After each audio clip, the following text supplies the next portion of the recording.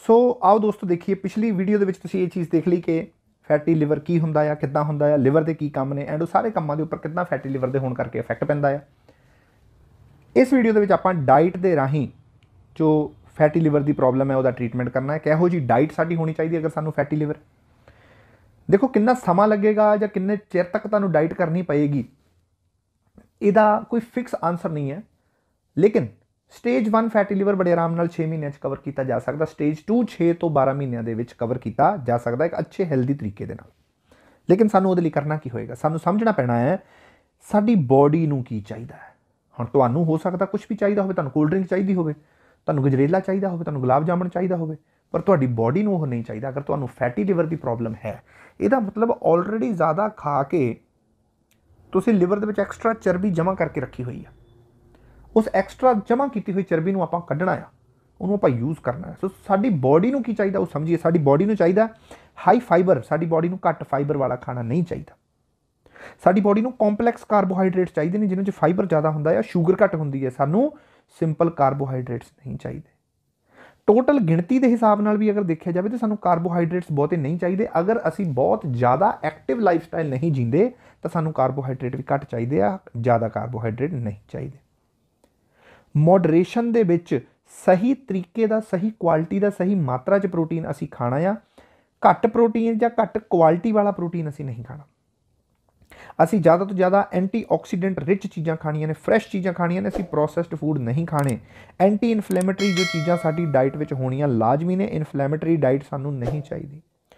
Raw ਜਾਂ cold pressed virgin oils ਅਸੀਂ prefer ਕਰਨੇ ਨੇ, ਕਿਸੇ ਵੀ ਤਰੀਕੇ ਦਾ ਰਿਫਾਈਨਡ ਤੇਲ ਟਰਾਂਸ ਫੈਟਸ ਅਸੀਂ ਨਹੀਂ ਯੂਜ਼ ਕਰਨੀਆਂ, ਅਸੀਂ ਹੈਲਦੀ ਫੈਟਸ ਯੂਜ਼ ਕਰਨੇ ਨੇ। ਇਹਨਾਂ ਹੈਲਦੀ ਫੈਟਸ ਨੂੰ ਵੀ ਅਸੀਂ ਓਵਰ ਕੁੱਕ ਨਹੀਂ ਕਰਨਾ, ਇਹਨਾਂ ਨੂੰ ਬਹੁਤ ਜ਼ਿਆਦਾ ਤੁੜਕਾ ਜਾਂ ਫਰਾਈ ਨਹੀਂ ਕਰਨਾ। ਤੇ ਇੱਕ ਅੱਛਾ ਹੈਲਦੀ ਕੈਲਰੀ ਡੈਫੀਸਿਟ ਅਸੀਂ ਮੇਨਟੇਨ ਕਰਨਾ ਹੈ ਕੈਲਰੀ ਸਰਪਲਸ ਵਿੱਚ ਨਹੀਂ ਜਾਣਾ, ਜ਼ਰੂਰਤ ਤੋਂ ਜ਼ਿਆਦਾ ਕੈਲਰੀਜ਼ ਅਸੀਂ ਨਹੀਂ ਖਾਣੀਆਂ। ਸੋ ਇਹ ਸਾਰਾ ਕੁਝ ਕਰਨ ਦੇ ਨਾਲ ਨਾਲ ਇਹ ਸਾਰਾ ਕੁਝ ਕਰਨ ਵਾਸਤੇ ਸਾਨੂੰ ਕੀ ਚੀਜ਼ ਕਰਨੀ ਚਾਹੀਦੀ ਹੈ? ਸਭ ਤੋਂ ਵਧੀਆ ਆਨਸਰ ਪਤਾ ਕੀ ਹੈ? ਐਕਸਰਸਾਈਜ਼ ਤੁਹਾਡੇ ਸਰੀਰ ਦੇ ਵਿੱਚ ਜ਼ਿਆਦਾ ਕੈਲਰੀਜ਼ ਜਾ ਰਹੀਆਂ ਸੀ, ਉਹਨਾਂ ਐਕਸਟਰਾ ਕੈਲਰੀਜ਼ ਨੂੰ ਐਕਸਟਰਾ ਸ਼ੂਗਰ ਨੂੰ ਐਕਸਟਰਾ ਫੈਟ ਨੂੰ ਤੁਹਾਡੀ ਬਾਡੀ ਨੇ ਕਨਵਰਟ ਕਰ ਕਰਕੇ ਫੈਟ ਦੇ ਵਿੱਚ ਲਿਵਰ ਦੇ ਵਿੱਚ ਜਮ੍ਹਾਂ ਕਰ ਦਿੱਤਾ। ਕਈ ਲੋਕੀ ਕਹਿੰਦੇ ਨੇ ਫੈਟੀ ਲਿਵਰ ਹੋ ਗਿਆ, ਕਿਉਂ ਮੱਖਣ ਖਾਣਾ ਬੰਦ ਕਰ ਦਿਓ? ਨਹੀਂ। ਕਿਉਂ ਮੱਖਣ ਖਾਣਾ ਬੰਦ ਕਰ ਦਿੱਤਾ? ਪਰ ਤੁਸੀਂ ਮਿੱਠੇ ਦਾ ਦਬਲ ਚਾੜੀ ਜੰਨੇ ਮਿੱਠਾ ਤੁਸੀਂ ਬੇਹਿਸਾਬਾ ਖਾਈ ਜੰਨੇ ਆ ਉਹੀ ਮਿੱਠਾ ਜਿਹੜਾ ਆ, ਆਪਾਂ ਪਿੱਛੇ ਵੀਡੀਓ 'ਚ ਦੇਖਿਆ ਕਿ ਉਹੀ ਮਿੱਠਾ ਫੈਟ 'ਚ ਕਨਵਰਟ ਹੋ ਹੋ ਕੇ ਲਿਵਰ ਦੇ ਵਿੱਚ ਜਮ੍ਹਾਂ ਹੋ ਰਿਹਾ। ਸੋ ਆਪਾਂ ਕੀ ਕਰਨਾ? ਖਾਣਾ ਲਿਮਿਟਿਡ ਆ। ਤੇ ਉਹ ਜਿਹੜਾ ਜਮਾ ਹੋ ਚੁੱਕੀ ਕੈਲਰੀਜ਼ ਹੈ ਜਮਾ ਹੋ ਚੁੱਕੀ ਫੈਟ ਆ, ਉਹਨੂੰ ਅਸੀਂ ਯੂਜ਼ ਕਰਨਾ ਉਹਦੇ ਲਈ ਸਭ ਤੋਂ ਵਧੀਆ ਤਰੀਕਾ ਕੀ ਹੈ? ਐਕਸਰਸਾਈਜ਼ ਉਹਦਾ ਸਭ ਤੋਂ ਸਹੀ ਆਨਸਰ ਹੈ ਸੋ ਤੁਸੀਂ ਕ੍ਰੋਸਫਿਟ ਕਰੋ ਜਿਮ ਕਰੋ, ਤੁਸੀਂ ਐਰੋਬਿਕਸ ਕਰੋ, ਘਰੇ ਵਰਕਆਊਟ ਕਰੋ ਮੈਡੀਸਨ ਬਾਲ ਨਾਲ ਜਾਂ ਫਲੈਕਸੀਬਿਲਿਟੀ ਵਰਕਆਊਟ ਕਰੋ। ਤੁਸੀਂ ਕਰੰਚਸ ਕਰੋ, ਰੱਸੀ ਟੱਪੋ ਸਾਈਕਲਿੰਗ ਕਾਰਡੀਓ ਕਿਸੇ ਵੀ ਪ੍ਰਕਾਰ ਦੀ ਐਕਸਰਸਾਈਜ਼ ਤੁਸੀਂ ਕਰੋ, ਤੁਸੀਂ ਹਿੱਲੋ, ਕੁਰਸੀ ਤੋਂ ਉੱਠੋ, ਸੋਫੇ ਤੋਂ ਉੱਠੋ, ਉੱਠ ਕੇ ਕੰਮ ਕਰੋ। ਕੰਮ ਕਰਾਂਗੇ ਤਾਂ ਸਾਡੀ ਬਾਡੀ ਕੈਲਰੀਜ਼ ਬਰਨ ਕਰਨਾ ਚਾਹੂਗੀ। ਤੇ ਅਸੀਂ ਇੱਕ ਹੈਲਦੀ ਡੈਫੀਸਿਟ ਮੇਨਟੇਨ ਕੀਤਾ ਹੋਇਆ। ਅਸੀਂ ਥੋੜੀ ਜਿਹੀ ਸਾਡੇ ਸਰੀਰ ਦੀ ਜ਼ਰੂਰਤ ਤੋਂ 200 300 ਕੈਲਰੀਜ਼ ਘੱਟ ਖਾ ਰਹੇ ਹਾਂ, ਲੇਕਿਨ ਅਸੀਂ ਕੰਮ ਜ਼ਿਆਦਾ ਕਰਦੇ ਪਏ ਹਾਂ। ਉਸ ਕੰਡੀਸ਼ਨ 'ਚ ਤੁਹਾਡੀ ਬਾਡੀ ਕੀ ਕਰੇਗੀ? ਤੁਹਾਡੇ ਸਰੀਰ ਦੇ ਅੰਦਰੋਂ ਕੈਲਰੀਜ਼ ਲੱਭ ਕੇ ਉਹਨਾਂ ਨੂੰ ਬਰਨ ਕਰੂਗੀ, ਜੋ ਕੈਲਰੀਜ਼ ਫੈਟੀ ਲਿਵਰ ਦੇ ਰੂਪ ਦੇ ਵਿੱਚ ਤੁਹਾਡੇ ਲਿਵਰ 'ਚ ਜਮ੍ਹਾਂ ਹੋਈਆਂ ਹੋਈਆਂ।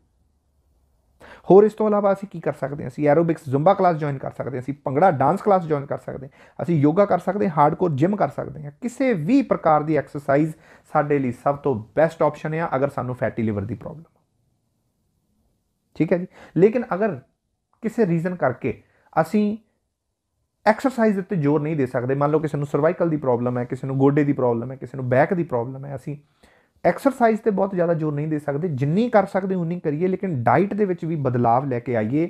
ਕਿਸੇ ਵੀ ਤਰ੍ਹਾਂ ਦੇ ਰਿਫਾਈਨਡ ਤੇਲ ਵਨਸਪਤੀ ਟਰਾਂਸ ਫੈਟ ਆ ਜ਼ੀਰੋ ਕੋਲੇਸਟ੍ਰੋਲ ਵਾਲੇ ਨਕਲੀ ਮੱਖਣ, ਇਹ ਆਪਣੀ ਡਾਈਟ ਵਿੱਚੋਂ ਕੱਢੀਏ। ਖੰਡ, ਗੁੜ, ਸ਼ਹਿਦ, ਸ਼ੱਕਰ ਜਿਹੜੇ ਰਿਫਾਈਨਡ ਸ਼ੂਗਰਸ ਨੇ, ਇਹਨਾਂ ਨੂੰ ਆਪਣੀ ਡਾਈਟ ਵਿੱਚੋਂ ਕੱਢੀਏ ਤੇ ਐਲਕੋਹਲ ਸ਼ਰਾਬ ਬੀਅਰ ਇਹਨਾਂ ਚੀਜ਼ਾਂ ਦਾ ਸੇਵਨ ਅਸੀਂ ਬਿਲਕੁਲ ਬੰਦ ਕਰ ਦਈਏ। ਇਸ ਦੇ ਨਾਲ ਹੀ ਕਿਸੇ ਵੀ ਪ੍ਰਕਾਰ ਦਾ ਤਲਿਆ ਹੋਇਆ ਜਾਂ ਤੁੜਕੇ ਵਾਲਾ ਖਾਣਾ ਅਸੀਂ ਨਾ ਖਾਈਏ। ਸੋ ਤਲਿਆ ਹੋਇਆ ਕੱਲਾ ਫ੍ਰੈਂਚ ਫਰਾਈਜ਼ ਨਹੀਂ ਹੈ, ਤਲਿਆ ਹੋਇਆ ਕੱਲਾ ਫਰਾਈਡ ਚਿਕਨ ਨਹੀਂ ਹੈ। ਜੋ ਅਸੀਂ ਘਰ ਦੇ ਵਿੱਚ ਦਾਲ ਸਬਜ਼ੀ ਨੂੰ ਵੀ ਤੁੜਕਾ ਲਾ ਲਾ ਕੇ ਬਣਾ ਰਹੇ ਉਹ ਵੀ ਤਲਿਆ ਹੋਇਆ ਆ। ਤੁੜਕੇ ਵਾਲੀ ਦਾਲ ਸਬਜ਼ੀ ਦਾ ਵੀ ਆਪਾਂ ਪਰਹੇਜ਼ ਕਰਨਾ ਆ, ਜਦ ਤੱਕ ਠੀਕ ਨਹੀਂ ਹੋ ਜਾਂਦੇ। ਇਸ ਤੋਂ ਬਾਅਦ ਜਿੰਨੇ ਵੀ ਪ੍ਰਕਾਰ ਦੇ ਮਿੱਠੇ ਆ ਕੋਲਡ ਡਰਿੰਕਸ ਆ, ਪੀਣ ਵਾਲੀਆਂ ਮਿੱਠੀਆਂ ਚੀਜ਼ਾਂ, ਉਹ ਕਹਿੰਦੇ ਫਰੂਟ ਬਹੁਤ ਹੈਲਦੀ ਹੈ ਜੀ ਫਰੂਟ ਜੂਸ ਪੀਆ ਕਰੋ ਫਰੂਟ ਜੂਸ ਬਹੁਤ ਹੈਲਦੀ ਫਰੂਟ ਜੂਸ ਹੈਲਦੀ ਆ ਉਹ 'ਚ ਬੜੇ ਸਾਰੇ ਵਿਟਾਮਿਨ ਮਿਨਰਲਸ ਤੇ ਐਂਜ਼ਾਈਮ ਨੇ, ਪਰ ਉਹਦੇ 'ਚ ਬੜੀਆਂ ਸਾਰੀਆਂ ਕੈਲਰੀਜ਼ ਤੇ ਸ਼ੂਗਰ ਵੀ ਆ। ਜਿਸ ਵਿਅਕਤੀ ਦਾ ਪਹਿਲਾਂ ਤੋਂ ਹੀ ਜ਼ਿਆਦਾ ਕੈਲਰੀਜ਼ ਲੈਣ ਕਰਕੇ, ਜ਼ਿਆਦਾ ਸਰਪਲਸ ਅਮਾਉਂਟ ਦੇ ਵਿੱਚ ਖਾਣ ਕਰਕੇ ਲਿਵਰ ਫੈਟੀ ਹੋਇਆ, ਉਹਦੇ ਲਈ ਜੂਸ ਨਹੀਂ ਚੰਗਾ। ਨਾਰਮਲ ਬੰਦਾ ਜੂਸ ਪੀ ਸਕਦਾ, ਪਰ ਜਿਹਦਾ ਵਜਨ ਜ਼ਿਆਦਾ ਆ, ਖੂਨ ਗਾੜਾ ਆ ਫੈਟੀ ਲਿਵਰ ਆ, ਉਹ ਜੂਸ ਨਾ ਪੀਵੇ। ਕਿਸੇ ਵੀ ਪ੍ਰਕਾਰ ਦੀ ਕੋਲਡ ਡਰਿੰਕ ਅਸੀਂ ਨਹੀਂ ਪੀਣੀ, ਕਿਸੇ ਵੀ ਪ੍ਰਕਾਰ ਦਾ એનર્ਜੀ ਡਰਿੰਕ ਅਸੀਂ ਨਹੀਂ ਲੈਣਾ। ਜੂਸ ਕੋਲਡ ਡਰਿੰਕ ਇਹਨਾਂ ਚੀਜ਼ਾਂ ਦਾ ਪਰਹੇਜ਼ ਰੱਖਣਾ ਡਰਿੰਕ ਐਲਕੋਹਲ ਦਾ ਬਿਲਕੁਲ ਪਰਹੇਜ਼ ਰੱਖਣਾ, ਖਾਸ ਕਰਕੇ ਜ਼ੀਰੋ ਕੈਲਰੀ ਜਾਂ ਡਾਈਟ ਕੋਲਡ ਡਰਿੰਕਸ ਤੋਂ ਵੀ ਆਪਾਂ ਬਚ ਕੇ ਰਹਿਣਾ। ਤੁਸੀਂ ਕਹੋਗੇ ਇਹਦੇ ਵਿੱਚ ਤਾਂ ਸ਼ੂਗਰ ਹੈ ਨਹੀਂ, ਇਹਦੇ ਵਿੱਚ ਤਾਂ ਕੈਲਰੀਜ਼ ਹੈ ਨਹੀਂ, ਇਹ ਕਾਤੇ ਬਚ ਕੇ ਰਹਿਣੇ ਕਿਉਂਕਿ ਇਹਨਾਂ ਵਿੱਚ ਆਰਟੀਫੀਸ਼ੀਅਲ ਸ਼ੂਗਰ ਯੂਜ਼ ਕੀਤੀ ਹੋਈ ਹੈ ਜੋ ਸਾਡੇ ਬ੍ਰੇਨ ਨੂੰ ਟ੍ਰਿਕ ਕਰਦੀ ਆ। ਆਰਟੀਫੀਸ਼ੀਅਲ ਸ਼ੂਗਰ ਬਾਡੀ ਦੇ ਵਿੱਚ ਜਾਣ ਦੇ ਨਾਲ ਸਾਡੀ ਬਾਡੀ ਦਾ ਇਨਸੂਲਿਨ ਸਿਸਟਮ ਖਰਾਬ ਹੁੰਦਾ ਹੈ ਸੋ ਇਸ ਕਰਕੇ ਇਹਨੂੰ ਆਪਾਂ ਅਵੋਇਡ ਕਰਨਾ।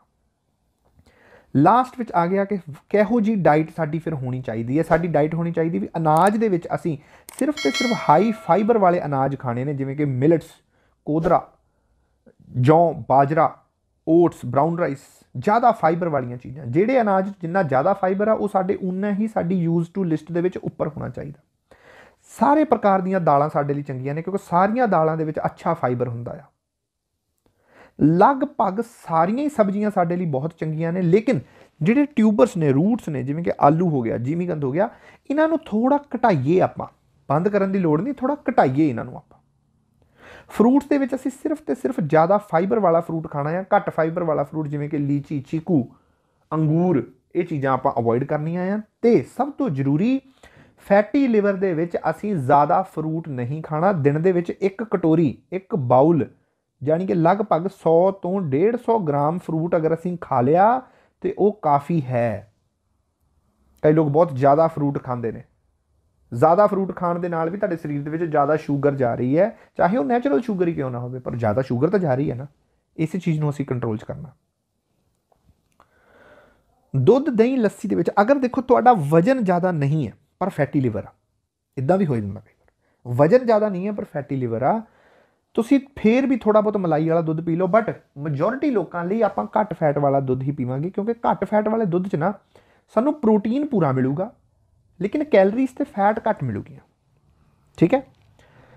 ਅੰਡਾ ਅਗਰ ਅਸੀਂ ਖਾਣਾ ਚਾਹੁੰਦੇ ਆ ਤੇ ਅੰਡੇ ਦਾ ਯੈਲੋ ਹਿੱਸਾ, ਅੰਡੇ ਦਾ ਯੋਕ ਸਾਡੇ ਲਈ ਬਹੁਤ ਅੱਛਾ ਹੈ ਲਿਵਰ ਵਾਸਤੇ। ਲੇਕਿਨ ਸ਼ਰਤ ਕੀ ਹੈ? ਅੰਡਾ ਦੇਸੀ ਹੋਣਾ ਚਾਹੀਦਾ। ਪੋਲਟਰੀ ਅੰਡੇ ਦਾ ਯੈਲੋ ਹਿੱਸਾ ਅਸੀਂ ਨਹੀਂ ਖਾਵਾਂਗੇ, ਸਿਰਫ ਤੇ ਸਿਰਫ ਦੇਸੀ ਅੰਡੇ ਦਾ ਯੈਲੋ ਹਿੱਸਾ ਖਾਵਾਂਗੇ। ਅਗਰ ਸਾਨੂੰ ਦੇਸੀ ਅੰਡੇ ਨਹੀਂ ਮਿਲਦੇ, ਤੇ ਪੋਲਟਰੀ ਅੰਡੇ ਹੀ ਅਵੇਲੇਬਲ ਆ, ਫਿਰ ਅਸੀਂ ਕੱਲਾ ਵਾਈਟ ਹਿੱਸਾ ਖਾਵਾਂਗੇ, ਅਸੀਂ ਯੈਲੋ ਹਿੱਸਾ ਨਹੀਂ ਖਾਵਾਂਗੇ। ਕਿਉਂਕਿ ਦੇਸੀ ਅੰਡੇ ਦੇ ਯੈਲੋ ਹਿੱਸੇ 'ਚ ਬਹੁਤ ਸਾਰੇ ਐਸੇ ਵਿਟਾਮਿਨਸ ਨੇ, ਜਿਵੇਂ ਕਿ ਕੋਲੀਨ ਵਿਟਾਮਿਨ ਈ ਜੋ ਸਾਡੇ ਲਿਵਰ ਨੂੰ ਹੈਲਪ ਕਰਦੇ ਨੇ। ਲੇਕਿਨ ਪੋਲਟਰੀ ਵਾਲਾ ਜਿਹੜਾ ਅੰਡਾ ਆ, ਉਹਦੇ ਯੈਲੋ ਹਿੱਸੇ 'ਚ ਇਹ ਵਿਟਾਮਿਨਸ ਇਹ ਮਿਨਰਲਸ ਬਹੁਤ ਘੱਟ ਨੇ ਗੁੱਡ ਕੁਆਲਿਟੀ ਦੇ ਨਹੀਂ ਹੈਗੇ। ਓਮੇਗਾ 6 ਜ਼ਿਆਦਾ ਆ ਉਹਨਾਂ 'ਚ ਓਮੇਗਾ 6 ਇਨਫਲੇਮੇਟਰੀ ਹੁੰਦਾ ਆ। ਸੋ ਸਿਰਫ ਦੇਸੀ ਮੁਰਗੇ ਦਾ, ਦੇਸੀ ਮੁਰਗੀ ਦਾ ਅੰਡਾ, ਉਹ ਅਸੀਂ ਯੈਲੋ ਹਿੱਸਾ ਸਮੇਤ ਖਾ ਸਕਦੇ ਠੀਕ ਹੈ? ਅੱਗੇ ਆ ਜਾਂਦਾ ਚਿਕਨ ਫਿਸ਼ ਆਪਾਂ ਗੱਲ ਕੀਤੀ ਸੀ ਕਿ ਸਾਨੂੰ ਹਾਈ ਕੁਆਲਿਟੀ ਪ੍ਰੋਟੀਨ ਚਾਹੀਦਾ ਆ। ਇਨ ਗੁੱਡ ਅਮਾਉਂਟ ਜ਼ਰੂਰਤ ਤੋਂ ਬਹੁਤ ਜ਼ਿਆਦਾ ਵੀ ਨਹੀਂ, ਜ਼ਰੂਰਤ ਤੋਂ ਘੱਟ ਵੀ ਨਹੀਂ। ਸੋ ਕਿੰਨਾ ਹੋਣਾ ਚਾਹੀਦਾ? 100 ਗ੍ਰਾਮ 100 ਗ੍ਰਾਮ ਚਿਕਨ ਜਾਂ ਫਿਸ਼ ਅਸੀਂ ਇੱਕ ਟਾਈਮ ਤੇ ਖਾ ਸਕਦੇ ਹਾਂ। ਤਿੰਨ ਮੀਡੀਅਮ ਸਾਈਜ਼ ਦੇ, ਤਿੰਨ ਤੋਂ ਚਾਰ ਪੀਸ ਇਸ ਤੋਂ ਜ਼ਿਆਦਾ ਨਹੀਂ ਖਾਣਾ। ਐਂਡ ਉਹਨੂੰ ਫਰਾਈ ਕਰਕੇ ਨਹੀਂ ਖਾਣਾ। ਉਹਨੂੰ ਬੋਇਲ ਕਰਕੇ ਸਟੀਮ ਕਰਕੇ ਜਾਂ ਰੋਸਟ ਕਰਕੇ ਖਾਣਾ ਹੈ। ਬਦਾਮ, ਅਖਰੋਟ, ਤਿਲ, ਅਲਸੀ, ਮਗਜ, ਸਾਰੇ ਪ੍ਰਕਾਰ ਦੇ ਪਿਸਤਾ, ਸਾਰੇ ਪ੍ਰਕਾਰ ਦੇ ਸੀਡ ਅਸੀਂ ਖਾ ਸਕਦੇ ਹਾਂ। ਸਿਰਫ ਇੱਕ ਕੈਸ਼ਿਊਜ਼ ਦਾ ਥੋੜਾ ਜਿਹਾ, ਕਾਜੂ ਦਾ ਥੋੜਾ ਪਰਹੇਜ਼ ਰੱਖਣਾ ਹੈ, ਕਿਉਂਕਿ ਕਾਜੂ ਦੇ ਵਿੱਚ ਨੰਬਰ 1 ਸਟਾਰਚ ਜ਼ਿਆਦਾ ਹੁੰਦੀ ਹੈ। ਥੋੜਾ ਜਿਹਾ ਸਵੀਟ ਟੇਸਟ ਹੁੰਦਾ ਹੈ ਕਾਜੂ ਟੇਸਟ ਦੇ ਮਾਮਲੇ ਦੇ ਵਿੱਚ ਸਭ ਤੋਂ ਵਧੀਆ ਡਰਾਈ ਫਰੂਟ ਦੇ ਵਿੱਚ ਹੈ ਸੋ ਥੋੜਾ ਖਾ ਨਹੀਂ ਹੁੰਦਾ। ਅਸੀਂ ਸਵਾਦ ਸਵਾਦ ਚ ਕਾਜੂ ਜ਼ਿਆਦਾ ਖਾ ਜਾਂਦੇ ਹਾਂ। ਲੇਕਿਨ ਅਦਰਵਾਈਜ਼ ਲਗਭਗ 20 ਤੋਂ 30 ਗ੍ਰਾਮ ਨਟ ਸੀਡ ਸਾਨੂੰ ਅਲਸੀ chia seed sunflower seed pumpkin seed ਸਾਰਿਆਂ ਦਾ ਮਿਕਸ ਸਾਨੂੰ ਰੋਜ਼ਾਨਾ ਖਾਣਾ ਚਾਹੀਦਾ। ਕਿਉਂਕਿ ਅਸੀਂ ਕੋਲਡ ਡਰਿੰਕ ਵਗੈਰਾ ਬਿਲਕੁਲ ਨਹੀਂ ਪੀ ਸਕਦੇ। ਸੋ ਸਾਡੇ ਲਈ ਡਰਿੰਕਸ ਦੇ ਵਿੱਚ ਬੈਸਟ ਆਪਸ਼ਨ ਕੀ ਹੈ? ਗ੍ਰੀਨ ਕਾਲੀ ਚਾਹ ਗ੍ਰੀਨ ਟੀ ਤੇ ਕਾਲੀ ਕਾਫੀ ਇਹ ਸਾਡੇ ਲਈ ਬੈਸਟ ਨੇ, ਕਿਉਂਕਿ ਇਹ ਗ੍ਰੀਨ ਟੀ ਤੇ ਬਲੈਕ ਕਾਫੀ ਐਂਟੀਆਕਸੀਡੈਂਟ ਰਿਚ ਨੇ ਪੋਲੀਫਿਨੋਲਸ ਰਿਚ ਨੇ। ਬਲੈਕ ਟੀ 'ਚ ਵੀ ਕੁਝ ਮਾਤਰਾ ਦੇ ਵਿੱਚ ਐਂਟੀਆਕਸੀਡੈਂਟਸ ਹੁੰਦੇ ਨੇ, ਪਰ ਜਿੱਦਾਂ ਹੀ ਅਸੀਂ ਇਹਨਾਂ ਬਲੈਕ ਟੀ ਜਾਂ ਕਾਫੀ ਦੇ ਵਿੱਚ ਦੁੱਧ ਪਾ ਦਿੰਨੇ ਆ ਉਹਦੀ ਕੁਆਲਿਟੀ ਖਰਾਬ ਹੋ ਜਾਂਦੀ ਹੈ। ਸੋ ਬਹੁਤ ਕਦੀ ਹੋਇਆ ਕਿ ਤੁਸੀਂ ਚਾਹ ਦੇ ਵਿੱਚ ਦੁੱਧ ਪਾ ਕੇ ਪੀਓ ਜਾਂ ਕਾਫੀ 'ਚ ਦੁੱਧ ਪਾ ਕੇ ਪੀਓ ਅਦਰਵਾਈਜ਼ ਤੁਹਾਨੂੰ ਹਮੇਸ਼ਾ ਹੀ ਚਾਹ ਕਾਲੀ ਪੀਣੀ ਚਾਹੀਦੀ ਹੈ ਜਾਂ ਗ੍ਰੀਨ ਪੀਣੀ ਚਾਹੀਦੀ ਹੈ ਤੇ ਕਾਫੀ ਬਲੈਕ ਪੀਣੀ ਚਾਹੀਦੀ ਹੈ। ਹੁਣ ਇਸ ਗੱਲ ਤੇ ਧਿਆਨ ਰੱਖਣਾ ਵੀ ਅਗਰ ਕਿਸੇ ਨੂੰ ਬੀਪੀ ਦੀ ਸ਼ਿਕਾਇਤ ਆ ਤੇ ਉਹਨੇ ਕਾਫੀ ਨਹੀਂ ਪੀਣੀ, ਅਗਰ ਕਿਸੇ ਨੂੰ ਹਾਈਪਰਟੈਂਸ਼ਨ ਆ ਬੀਪੀ ਵੱਧਦਾ ਆ ਫਿਰ ਉਹ ਪਲੀਜ਼ ਕਾਫੀ ਨਾ ਪੀਵੇ, ਫਿਰ ਉਹ ਬਲੈਕ ਟੀ ਜਾਂ ਗ੍ਰੀਨ ਟੀ ਪੀਵੇ ਸਿਰਫ। ਲਾਸਟ ਵਿੱਚ ਅਸੀਂ ਆਪਣੇ ਲਿਵਰ ਨੂੰ ਹੈਲਦੀ ਡਾਈਟ ਤਾਂ ਦੇਣੀ ਦੇਣੀ ਹੈ, ਕੁਝ ਅੱਛੇ ਸਪਲੀਮੈਂਟਸ ਦੇ ਨਾਲ ਵੀ ਉਹਨੂੰ ਸਪੋਰਟ ਕਰਨਾ। ਸੋ ਇੱਕ ਸਪਲੀਮੈਂਟਸ ਦੀ ਲਿਸਟ ਵੀ ਮੈਂ ਤੁਹਾਡੇ ਨਾਲ ਸਾਂਝੀ ਕਰਨ ਜਾ ਰਿਹਾ। ਦੇਖੋ, ਇਹ ਸਾਰੇ ਸਪਲੀਮੈਂਟਸ ਤੁਹਾਨੂੰ ਵੈਸੇ ਤਾਂ ਓਵਰ ਦਾ ਕਾਊਂਟਰ ਮਿਲ ਜਾਂਦੇ ਨੇ, ਲੇਕਿਨ ਮੇਰੀ ਇੱਕ ਰਿਕੁਐਸਟ ਹੈ ਤੁਹਾਨੂੰ ਸਾਰਿਆਂ ਨੂੰ, ਵੈਸੇ ਤਾਂ ਮੈਂ ਚੈਨਲ ਦੇ ਡਿਸਕ੍ਰਿਪਸ਼ਨ ਦੇ ਵਿੱਚ ਵੀ ਇੱਕ ਡਿਸਕਲੇਮਰ ਦਿੱਤਾ ਹੋਇਆ ਕਿ ਕੋਈ ਵੀ ਚੀਜ਼ ਸ਼ੁਰੂ ਕਰਨ ਤੋਂ ਪਹਿਲੇ ਪਲੀਜ਼ ਆਪਣੇ ਇੱਕ ਪ੍ਰੈਕਟੀਸ਼ਨਰ ਦੇ ਨਾਲ ਜਰੂਰ ਸਲਾਹ ਕਰੋ ਜਾਂ ਫਿਰ ਈਰੂਡਾਈ ਨਿਊਟ੍ਰੀਸ਼ਨ ਤੁਹਾਡਾ ਕਮਲਦੀਪ ਸਿੰਘ ਔਜਲਾ, ਤੁਹਾਡਾ ਆਪਣਾ ਪਰਸਨਲ ਡਾਈਟੀਸ਼ੀਅਨ ਹਮੇਸ਼ਾ ਤੁਹਾਡੀ ਸੇਵਾ 'ਚ ਹਾਜ਼ਰ ਹੈ। ਤੁਸੀਂ ਮੇਰੇ ਨਾਲ ਵੀ ਇੰਸਟਾਗ੍ਰam ਤੇ ਫੇਸਬੁੱਕ ਤੇ ਜਾਂ ਮੇਰੇ ਨੰਬਰ ਤੇ ਜਾਂ YouTube ਦੇ ਰਾਹੀਂ ਮੇਰੇ ਨਾਲ ਸੰਪਰਕ ਕਰ ਸਕਦੇ ਆ। ਮੇਰੇ ਨਾਲ ਵੀ ਡਿਸਕਸ ਕਰ ਸਕਦੇ ਆ ਲੇਕਿਨ ਆ ਸਾਰੇ ਉਹ ਸਪਲੀਮੈਂਟਸ ਆ ਜੋ ਸਾਡੇ ਲਿਵਰ ਨੂੰ ਠੀਕ ਕਰਦੇ ਨੇ, ਲੇਕਿਨ ਇਹਨਾਂ ਨੂੰ ਪਲੀਜ਼ ਥੋੜਾ ਜਿਹਾ ਜ਼ਿੰਮੇਵਾਰੀ ਨਾਲ ਲਿਆ ਜਾਵੇ। ਅਗਰ ਤੁਹਾਡੀਆਂ ਆਲਰੇਡੀ ਪਹਿਲਾਂ ਤੋਂ ਹੀ ਕਿਸੇ ਵੀ ਪ੍ਰਕਾਰ ਦੀਆਂ ਕੋਈ ਦਵਾਈਆਂ ਚੱਲ ਰਹੀਆਂ ਨੇ, ਤਾਂ ਵੈਰੀ ਇੰਪੋਰਟੈਂਟ ਆ ਕਿ ਆਪਣੇ ਜਨਰਲ ਪ੍ਰੈਕਟੀਸ਼ਨਰ ਨੂੰ ਕੰਸਲਟ ਕੀਤੇ ਬਿਨਾ ਕੋਈ ਵੀ ਸਪਲੀਮੈਂਟ ਸ਼ੁਰੂ ਨਾ ਕਰਿਓ। ਠੀਕ ਹੈ ਜੀ? ਤੇ ਇਹਦੇ ਵਿੱਚ ਆ ਜਾਂਦੇ ਆ ਜੀ ਸਾਡੇ ਡੈਂਡਲੀਅਨ ਰੂਟ ਟੀ ਇਹ ਵੀ ਇੱਕ ਆ ਡੈਂਡਲੀਅਨ ਦੇ ਆ ਪੱਤੇ ਨੇ। ਇਹਨਾਂ ਦੀ ਚਾਹ ਬਣਦੀ ਹੈ ਸੇਮ ਗ੍ਰੀਨ ਟੀ ਵਾਂਗੂ। ਟੇਸਟ ਵੀ ਲਗਭਗ ਗ੍ਰੀਨ ਟੀ ਵਰਗਾ ਹੀ ਹੁੰਦਾ।